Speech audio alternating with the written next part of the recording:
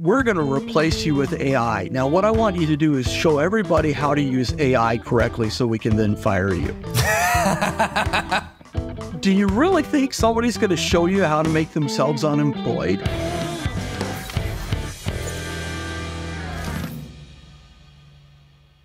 I want to start really by talking about, you know, you went to Japan, you had a host host family, you've traveled, you I think you said you have a wife from the Philippines. You tend to have lots of exposure to different cultures and travel. How did that get started? At what age did that start for you? Well, you know, back in probably the 80s or something like that, that's when the Japan fad hit the United States, you know, and you had all these uh, TV shows, completely fictitious, outlandish, fictional, outlandish stuff you know, about samurai, about ninjas, about all this stuff. I'm like, wow, that's really different. So when I went to Michigan State University, I uh, enrolled in Asian studies. And it's like, wow, okay, this is completely different than anything I've ever seen. You know, I mean, at that point in my life, you know, the architecture and, and everything else. So it really interested me. And I talked to my mom and dad. I said, you know, uh, given how Japan and everybody's writing about the Japanese miracle and the Japanese economy, you know, which was very prevalent in, in uh, literature and culture at that time. I said, I, I think it'd be good if I go and study in Japan. So I applied and I went there and um, it was fascinating, you know, and some of the things also is that it causes you to question or to realize stuff that you hadn't really necessarily understood or thought about when you're in your own culture. So it, it gave me a really good chance. And then uh, the other thing is my my host family was fantastic. You know, it really cool. And my uh, host father, um, he was uh, worked for uh, Nippon Life Insurance, and he had a number of big corporate clients. And I was very interested in going and talking to these clients about what they did with technology and how they uh, brought people up to speed and quality and whatever, and kind of just just unfocused all over the place because it's not like I was one of those guys who said, "Oh, you know what, I want to do this, Joel." Yeah, no, I'm like, well, I think I want to. Nah, I don't know where I want to go. So I, I went and I had a chance to talk to these companies and see what they're doing and stuff like that. And a lot of that, that stuff that I saw, it just kind of sat in the back and, and germinated along with everything else and my undergrad degree and, and what have you, and started kind of combining the IT and the, the, the interest in people and culture and, and business. It just kind of all started coming together, if, if that makes sense. Yeah. And what was your first real gig? Um, okay. So out of college. Um, George needed a degree. Now, this was, uh, let's see, when did I graduate? 90. All right. And at that time, I had two job offers, one with AT&T, one with IBM. And for my graduation gift, my parents uh, said, okay, we'll fund you to go back to Japan and uh, see your host family and also go down and see some friends in Singapore. So I did that and I came back. And, you know, this is right in the middle of really bad economic times. Both job offers had been rescinded. So my first real job out of college was working for Radio Shack, trying to sell computers when they were a very closed, very overpriced, whatever architecture, and trying to tell them that the reason it wasn't selling was because it was a horrible architecture, just didn't didn't work. But um, from there, though, I went in and I worked for a printing company.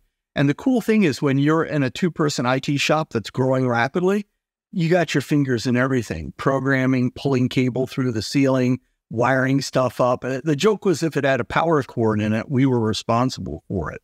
So I, I got exposed to a lot of different things I feel very fortunate to. Uh, very fortunate for. I also had a boss, Jonathan Fisk, who's probably one of the most patient guys on the planet because he tolerated me and my antics and would be like, okay, George, let's go. All right, now come over here and, and do this instead. All right. And uh, it was it was very cool. So that's where I kind of started out my my corporate IT gig, if you will. Nice. I like it. Everything with a power cord, like you're a chief electron officer. oh, dude, I had to take apart. We know those big. Oh, I don't know if you ever seen them in, in offices. They have these big, giant industrial shredders. Well, mm-hmm. ours would jam. It's like, okay, do we pay a technician to come out? No, George has screwdrivers. All right, we'll go and get George. And so I had this big industrial shredder all set apart, going in to find out where one of those big binder clips had gone in and jammed something you know, I take it all apart, lube it, put it back together and whatever, but all kinds of fun stories like that that you might not have encountered if you worked for a big siloed, you know, IT organization. But yeah, anything with power cord. I'm glad you're open and we're talking about this like diverse experience set that you, that you like and the way you speak about it, you're proud of it and you're aware of it. And I think that there's a lot of people out there that wish they could be open about it versus you know jobs typically want you to be like very narrow and focused and specific uh, but it seems like you've realized it was a superpower you embraced it and leveraged it. Tell me more about that. So you have this awareness of yourself that you like these different things. How did you weave that into a career? Okay so part of it um, is just my personality. Um, i'm notoriously nonlinear inside of gartner you know, if you think about the movie Up, you know, where the dog sees a squirrel, it's like squirrel and everything like stops. That's me, you know. So, um, you know, I, I'm just intrigued by many different things. And I, I've been lucky because I've I've had a number of different careers that allowed me to like build on different building blocks.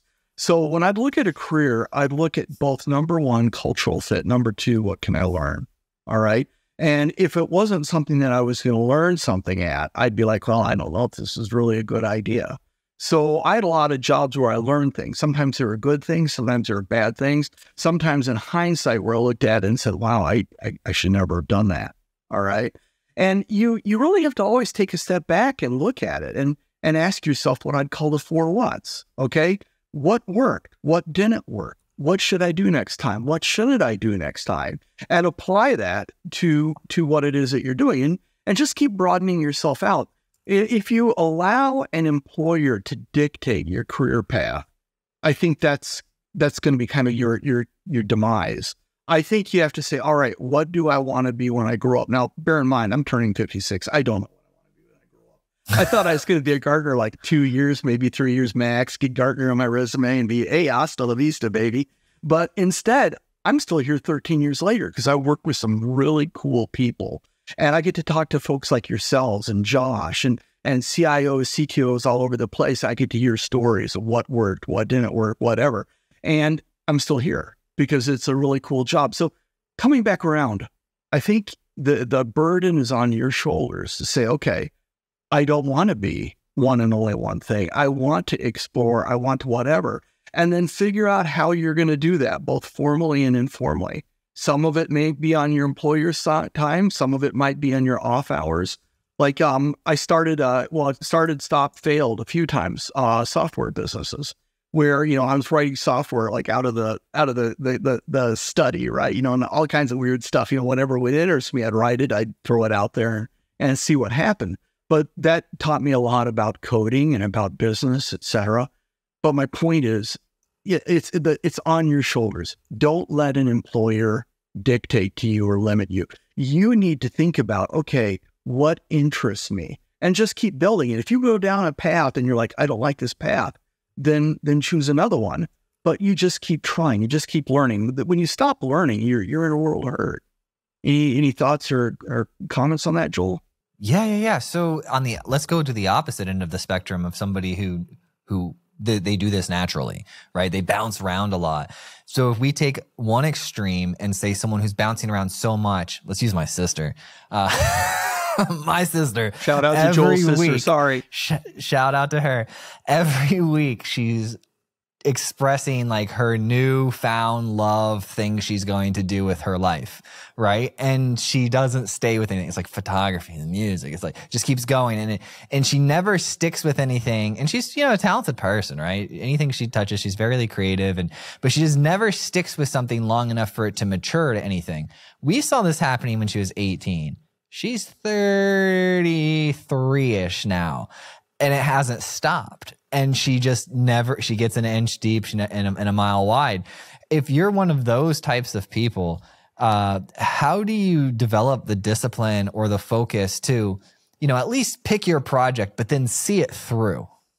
Yeah yeah. Well you know i guess this is something where you have to again ask yourself you know what is it do, that i want to do? Um, one of the things i tell my nephews and nieces is you know don't let a job define who you are. A job is what you do to make the money that you need to do what you want to do. So I, I tell your niece, look, you got to settle on something. You know, give it a year, give it two years, whatever it may be, but view it as a way to get the money to fund the stuff you do outside of work. You want to dabble in all kinds of things, awesome, rock on. But you need to have that job. You need to have that money coming in, and you're going to have trouble. And we all know that if employer sees you jumping job to job to job to job, that's a big warning flag for the employer. You know, if they're seeing it like, you know, I, I think they say less than a year or something like that, person's going from job to job, that's a red flag. So I'd, I'd tell her, I said, look, find something, view it as a way to make the money that you want to, to, to fund what it is that you want to do outside of work. Give it a go, give it at least a year, and then move on from there. But some people just aren't wired that way, unfortunately. And I like what you said about the year thing. That's actually uh, one of the very first disqualifiers we have on applicants. We're we're less than 20 people. We're not a big company. But when we look for sales or whatever position, if the, there are that I'd say half the resumes maybe are people staying no longer than a year and a month or a year and 2 months or something of that nature. And for me, you know, being an entrepreneur and like I it takes a year to come in and get your projects and really understand what's happening at the business. And then in your second year, you can not only do the job that you're paid for, but you can figure out how to do more to like push the business forward farther because you've got your core excuse for a paycheck down and then you can grow the business farther. So yeah, that's what we definitely look for. And I'm unapologetic and about it because they will stay a year if, if you if you keep hiring those people, they're not going to break their pattern. yeah, yeah. Well, you know what's really interesting is um, when I got interviewed by Gartner, uh, first off, one of the recruiters reached out to me way back when and said, So I see you can write. Yeah. You ever heard of Gartner? Well, yeah. You ever thought about working at Gartner? Uh, maybe. I don't know. Um, but what was interesting was it, it took several months before I was hired. And I talked to all these different people. And Joe uh, Baloch, who was the vice president over everything at the time, or whatever the, the title was, Joe was a very smart guy. I respected him uh, he's interviewing me and he's kind of pushing, you know, on areas that I, I, had a hard time remembering to look to see if I get frazzled and stuff. But he asked, So what do you think about Gartner so far? I said, Well, you folks uh, sure take a long time to hire somebody. And he didn't miss a beat, Joel. He goes, Well, we want to make sure we hire the right people. All right. Now, I have no problem talking. I shut up at high speeds because he was absolutely right.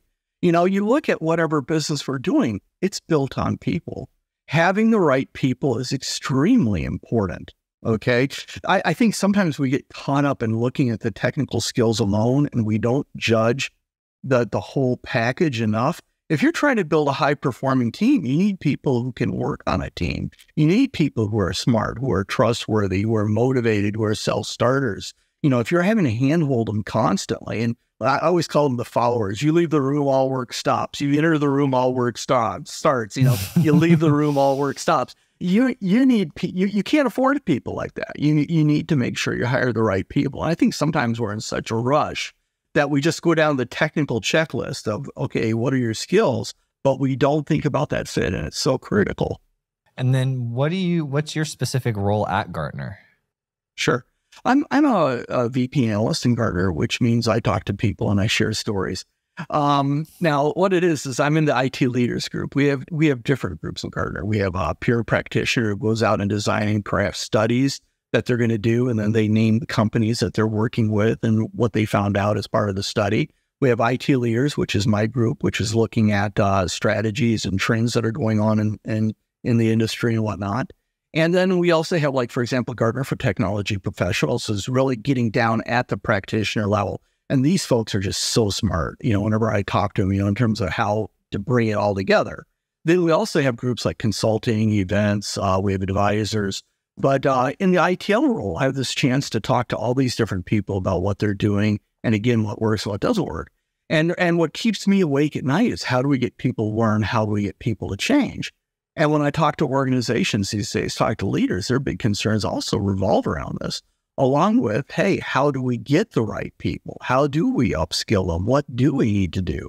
The, the technology can be challenging at times, but it's uh, the people part that can be really hard. And not to beat the AI horse to death because obviously it comes up a lot, but you have a fairly unique perspective because a lot of times I'm interviewing people that are like, you know, the head technology person at their company, but you get to interact with a lot of different uh, tech leaders and you get to talk about the future a lot. So I think it's valuable to hear from you. So obviously, people's always a hard thing, right? We're making these tools that are compressing time, making, you know, what used to take a week take a day. Uh, how what's what's the impact of that if you extend that out like infinitely? Boy, that's like the hardest question you've thrown at me. Um, the short answer is nobody really knows. You know, I mean, for the longest time, AI languished in the land of sci-fi. You know, we'd see these things like HAL 9000, or we'd see the robots in Star Wars or whatever. It's like, oh wow, it's amazing. But we were so far off from it.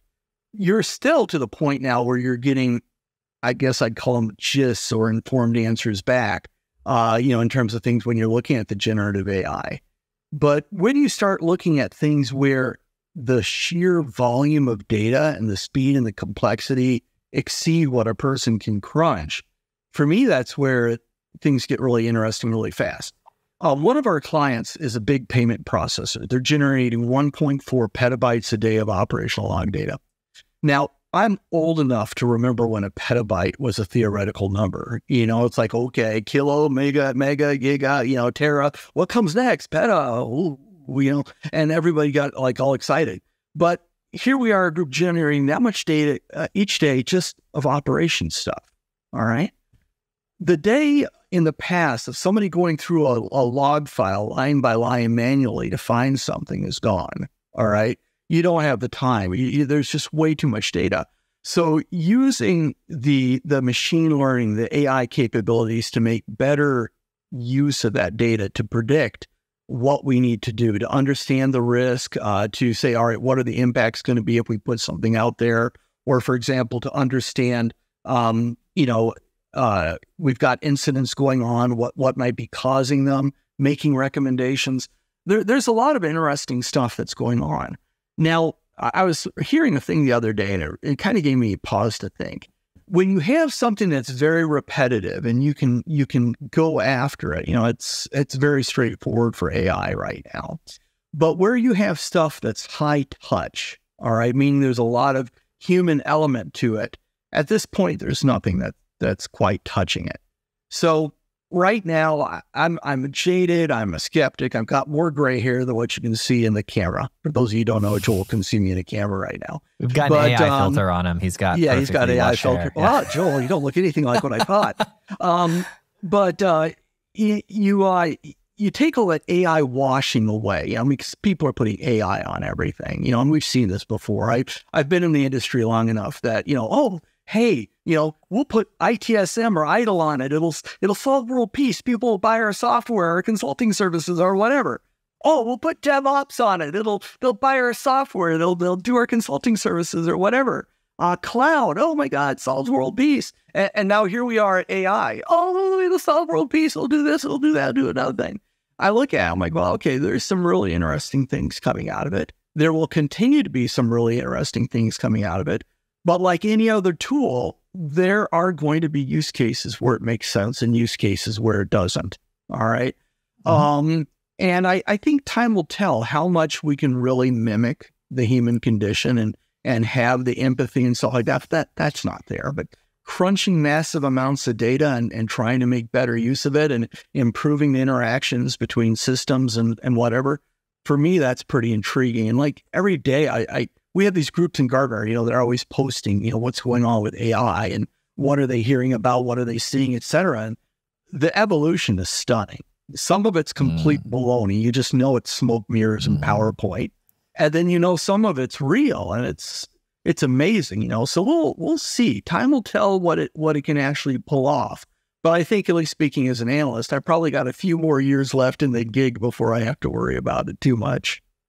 Oh, I 100% agree. Like it takes, if you go back, I'll back up. I was very surprised on this show when I was talking to people that still have mainframes. Like that, that mainframes are still a, a huge, a huge deal, and they have these these old technologies. I remember I had one conversation about five years ago where uh, I think we edited out the name of it, but it was a power plant who had software that no one was alive that knew how to operate it. So they had to hire these this company to come in and reverse engineer the power plant software so that they could provide you know the electrical services to people. Um, so yeah, I've actually that, kind of that's forgot. That's not an unusual story, Joel. of people and AI and and learning and change and, and what have you. And you're telling me about the, the old stuff, mainframes. Yeah.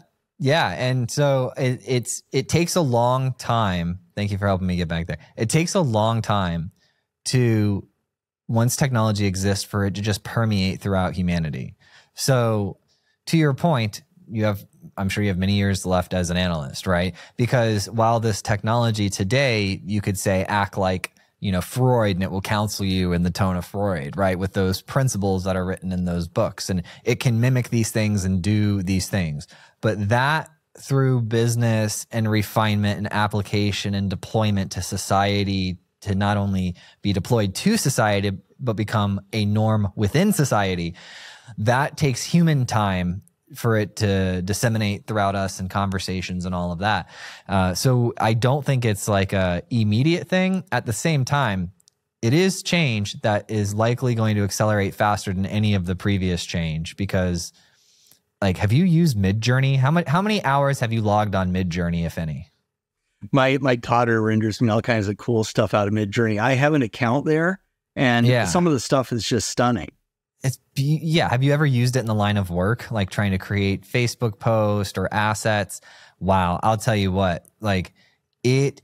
We use GPT. GPT saves us about a hundred grand a year just in man hours of because uh, we make our show, but we make about 20 other shows for other companies. Like we produce other podcasts, we do all the prep and interviews and questions and everything. So we have a Slack channel dedicated to how to use GPT to do this, and we have one resident expert you know, who helps teach the other producers all the tips and tricks and we share knowledge. But GPT has had a huge influence in our business in the past seven months. It's made it easier, easier for us to scale. And then we just started integrating in the past couple weeks Midjourney. And so before we'd have designer, have design meeting, talk about what we want in the ad and do all of this, we've boiled that down to a the marketing director not even needing to talk to a designer, just issuing a several commands to Midjourney and getting it 90% of the way there and then we just go to the designer and be like hey can you just touch this up? It's it's it's it's so fast. You could literally say that it could cut half of the designers the need for half of the designers out today.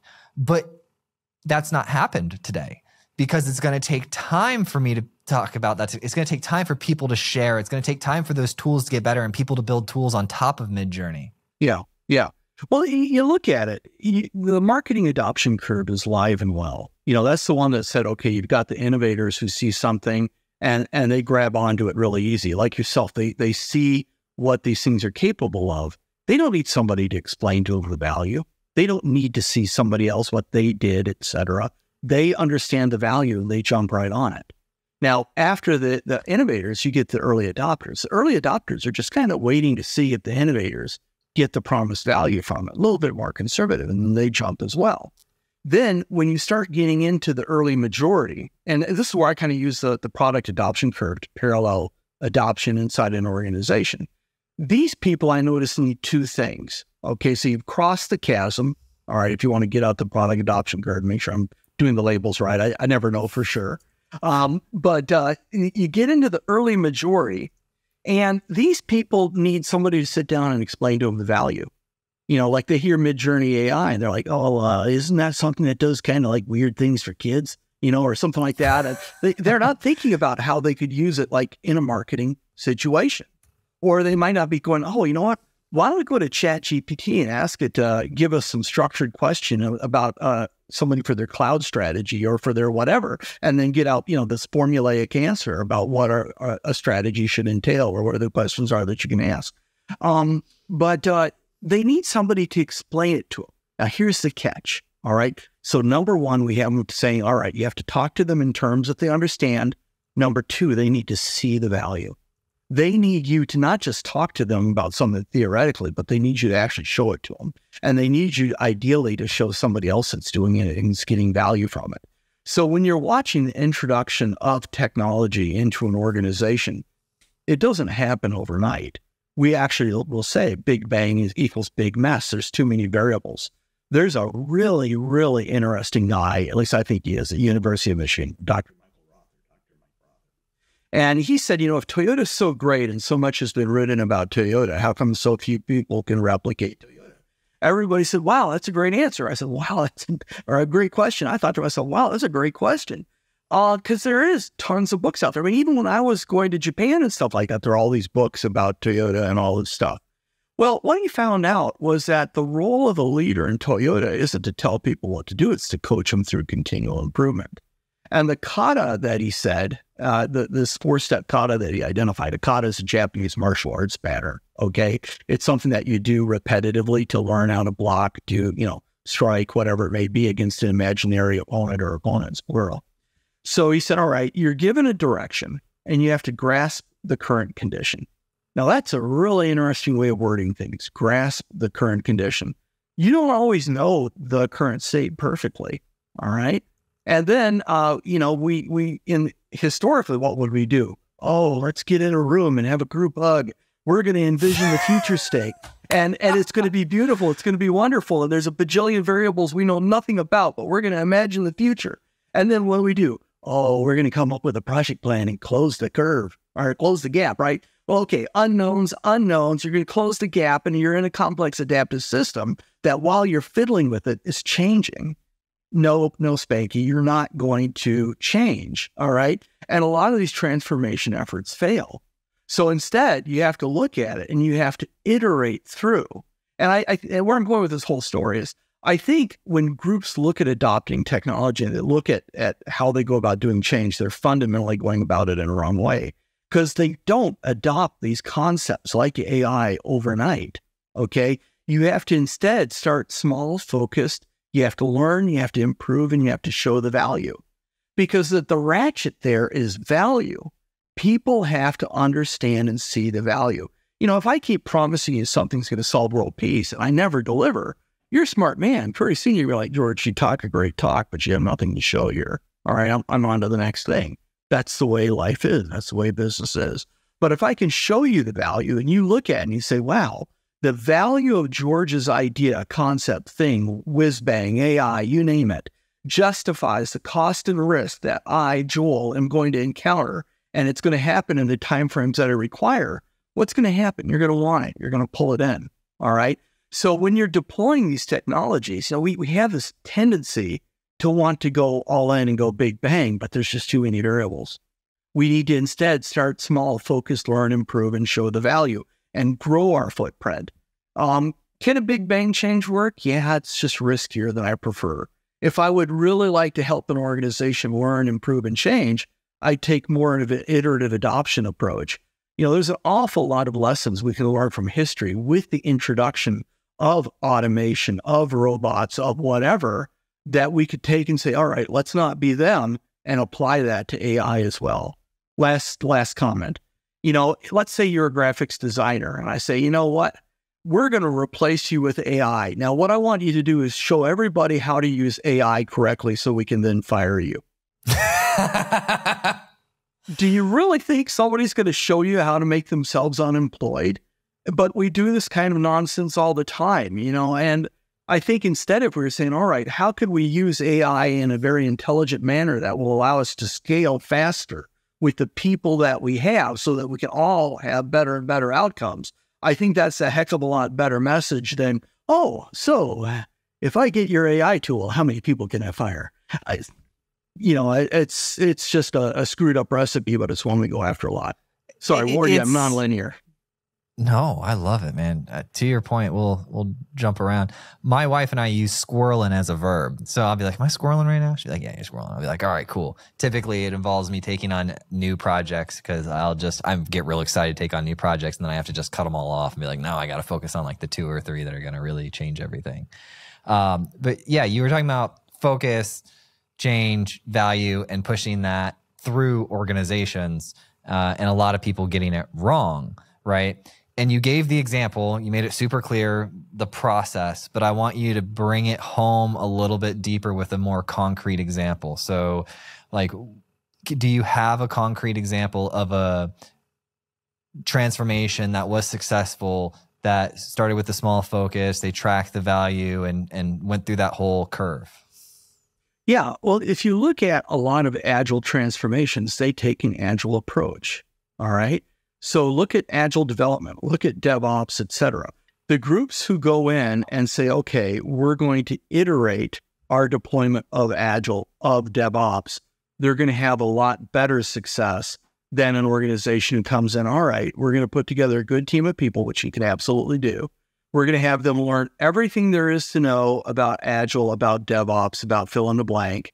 And then we're going to take and uh, cookie cutter this out to everybody with all the variables that we're talking about, et cetera. So all you need to do is to look at the groups that are successfully adopting Agile. Um, and not just one or two, but I mean, they're, they're actually going about it. They're, they started small, focused, and they grew their footprint. Um, I'm always really bad with names. All right, I'll, I'll be very honest about it. Um, so thinking of a company right off the top of my head, I, am just drawing a blank. But th- those would be a good example. Now let's let's just dovetail to one interesting segue. Look at open source. All right, fill in the blank any open source effort you like. All right, what, whatever your favorite one is. Somebody comes up with a vision. What does that vision represent? Value. What does that value do? It attracts people, early collaborators. Then what can they do? Well, then they can crank out some code. They can get some stuff done. What are they doing? They're demonstrating value. All the while along, they're learning more about what is needed, what they need to do, etc. All right. And they course correct. All right. This is classic agile. All right. Now, along the line, they're improving their vision they're improving their deliverables, they're getting more stuff out there. What's that doing? It's attracting more uh, users, it's attracting more collaborators. So, what can they do? Well, again, they can get more work done, they can refine and expand their vision. So, these giant open source efforts that are out there, again, fill in the blank of anyone you like, they didn't show up on the scene at scale overnight. They showed up very small, very focused. And the group started, they learned, they improved, they showed the value and it grew through the attraction of value. So I, I think that's uh, maybe an example where I hmm. can say broad brush. You look at most of those big efforts; they didn't just magically appear overnight. But uh, look at Agile, look at DevOps; those are very good examples. If, if you hop up on YouTube, there's tons of videos, tons of case studies. Uh, Dr. Rother has a lot of stuff up there about the use of his kata, et cetera. So sorry, Joel, it's just me and my limitations. Oh, no worries at all. Uh, again, I'm very limited. We got editors, and they make us sound brilliant. Thank you, Josh. Dude, Josh promised me the AI make me sound smart, so I'm really hoping. I know. I know. I, I I'll tell you, I was definitely on the DevOps didn't deliver the promise. Everyone slaps the label on train, and and and I think that GPT and Midjourney are the first two things which they're kind of the same thing. But first two things that have delivered on the hype that I imagined would exist as a person who has built technology for, you know, 20 years. And I was actually very, very surprised when I started playing with GPT and realized that everyone's looking at it in the general public as this thing you can go try to prove is uh, you know a bot and run the test the turing test on and try to talk about tacos or whatever you can talk about to get it to you know and then i and then i went to go use it as the business perspective and i said wow this thing has legitimate business value right now today. And and then the same thing with midjourney so my instant reaction was fear right? So he's like okay typically i feel fear. I'm like okay i feel fear when i don't understand something so let's go understand it. Let's not be scared of it let's go understand it. And so uh, fear of understanding like how exactly everything would would roll out in the economy and all of that. After my little journey of a couple weeks and inviting on some AI people and talking about it, I realized to your point uh, that it will take time to get into the marketplace and time for all that to happen. That being said, your explanation of how that unfolds is the highest quality, most articulate, best explanation I've ever heard. So that's Josh. We want to make a clip. Well, thank you. yeah, thank you. You know, but what's really interesting, Joel, is you brought up a comment, and it's also really interesting. You know, DevOps delivering versus Chat GPT delivering, or or any of the other of the AI pieces. A lot of the problems that happen with DevOps aren't because of the technology; they're because of the people. All right. And and I'm not like faulting the the people who are trying to live with what management just unloaded on them. But what management said would solve world peace and all this other stuff, Like the worst thing I could ever hear is do DevOps. It's a good idea. Oh, don't do it.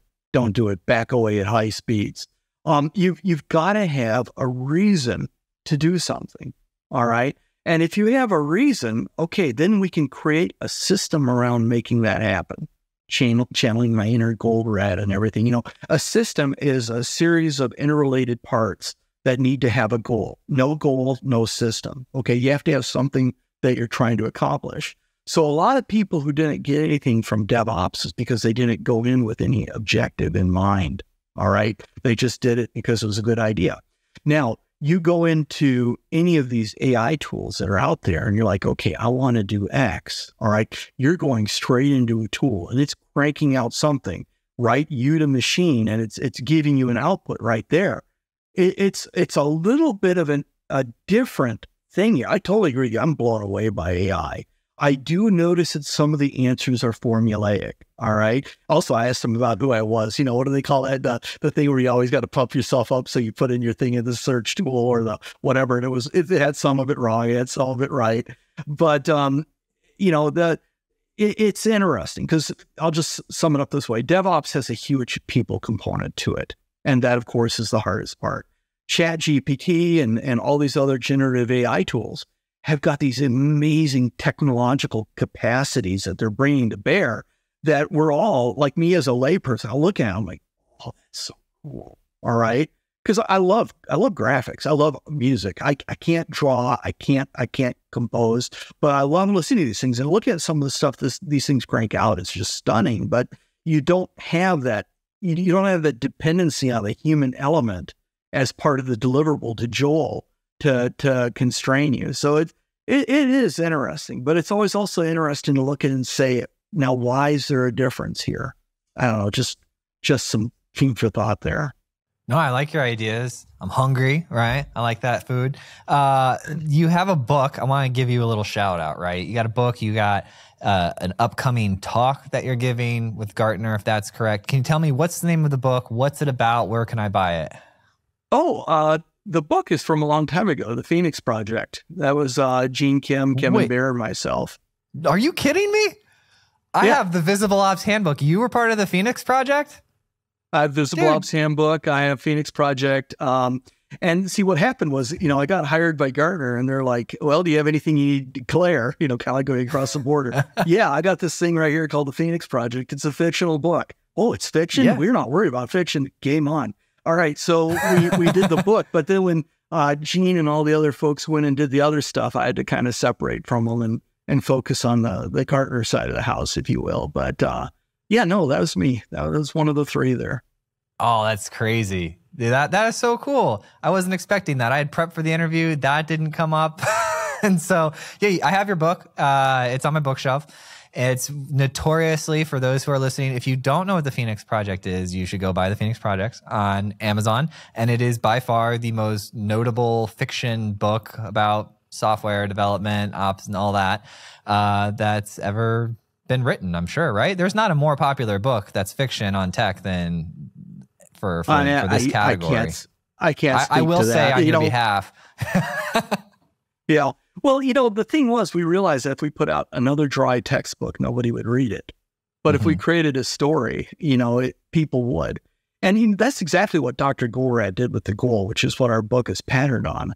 The Goldratt came up with this idea, and he had this body of knowledge that he'd been working on for a while called theory of constraints. And uh, he said, well, okay, maybe if I put it in a manufacturing setting and make it kind of like a love story with a you know a guy who's like overworked and trying to get stuff done and all this stuff. Maybe you know that will work in in terms of getting the story out there. So he approached this professional writer who thought it was the dumbest idea he'd ever heard. Made Dr. Goldratt pay him a flat fee up front to write it. Now that book is sold. You know, it's I wouldn't surprise you at all if it's pushing 10 million copies. I, I got a copy of the goal some years ago. It was already at four or five million. And uh, let's see, years ago, how many years ago? A long time ago in a galaxy far, far away. I mean, it was a long time ago, but every morning that, that, that writer wakes up and goes, should have done the percent. Should have done, done, the percent. percent. Yeah. yeah. so there's that. And then the the the speaking portion of it. So, so I'm a Gartner analyst. I'm always at Gartner events. So I'll be at the uh, Infrastructure Operations Cloud Strategy Summit this fall. Uh, my friend uh, Daniel Betts is uh, going to be the, the chair of the um, the event. I'll be in both London and also in our Las Vegas one, and a whole bunch of my friends and colleagues because you, you get those when you're at a company for 13 years, and uh, we'd all love to talk to folks. Oh, nice! And how can people buy tickets for that? All right. Um, now this is where George has to say George isn't 100% sure. Um, you see, we, we have the, these websites. So if you search like IOCS London or IOCS uh, Las Vegas, Gartner IOCS Las Vegas or IOCS London, it'll come up with the events. And now if you're a Gartner seat holder, you talk to your account team, they can help you figure out how to approach it and all that stuff. I was ready for everything, Joel, except now, how do we get a ticket? I don't. How do we? uh, and I just materialize at events here and there and just show up. I'm there. No, but uh, for those of you who are looking for something specifically, obviously the Google answer is great, but Josh will connect with their marketing team before this episode airs and add the links to the description in the podcast. Awesome. You know, they'd really appreciate that. They're, the marketing people are going, oh, no, yes, George. And George answered. I know. I, I, see that one person in the audience. I'm like, uh oh, there's going to be edits later. All right. So v- Visible Ops Handbook. That is, tell me a little bit about that book and why I'd want to buy it. Well, a long time ago in a, in a galaxy far, far away, there was this issue of how do we stabilize production? Because when you look at it, a lot of IT work is firefighting. You know, for folks familiar with ITIL, we're talking incident management, where you have a deviation from standard production. And the problem is that firefighting eats you alive. All right. Because people aren't linear or uh, I'm sorry, they're not multitasking. They're they're linear. We have to set up to work something. We're then executing, and then we get interrupted. Hey George, it's a Sev one. All hands on deck. So you got to stop what you're working. That that's a teardown cost. Now you got to set up to work the incident. People are yelling, they're screaming, all this stuff. Your train of thought just went right out the window. Now, you know, it's done. You tear down from the, the Sev one, you come back over, except now you gotta you got to get your thoughts back together. You got to go, all right, what was I working on and why? And if you're like me, you're going to declare all your variables wrong after that. You know, but the the point is, you know, you you you've lost your train of thought. Now, you know, incidents incidents are just nasty. You know, when somebody says it was only five minutes, the negative impact was way more than five minutes. And for a lot of IT shops, you know, they they don't have a lot of people. So if you want to get more productive, more productive work done, more productivity, uh, which you can think of as movement towards the goal, stuff that really matters, not just silly things like lines of code. Um, if you really want to improve productivity, one of the things you need to do is to reduce the waste, okay? Because it's eating up the, the time, the bandwidth of your precious resources, your people. So in the Phoenix, Pro- I mean, Phoenix Project, in Visible Ops Handbook, what we are basically doing is saying, look, you know, 80% of incidents are caused by failed changes. Now, that observation was originally uh, from Donna Scott, who was also with Gartner years and years ago before I joined Gartner. And uh, what we saw was true. A lot of the incidents are self inflicted. You know, somebody made a change and then it blew everything up, usually right before they go on vacation or right before the weekend or, or whatever, right? And so then we'll have to all go into forensic firefighter mode trying to figure out what happened. And there's got to be a better way, right? So Visible Ops was about saying, all right, look, what could you do to reduce this firefighting? Well, a lot of the stuff that you see in there eventually, you know, became some of the things that we talk about in DevOps, some of the things that we talk about in site reliability engineering. And I'm not saying that they they built on Visible Ops. I'm just saying the concepts parallel one another, okay? Because there's some tremendous bodies of knowledge out there. But the idea is okay, number one, why don't we have people talk to one another so that you build stuff that's going to operate the way that you need it to operate? Um, at the start of an incident, why don't we ask the question, what changed?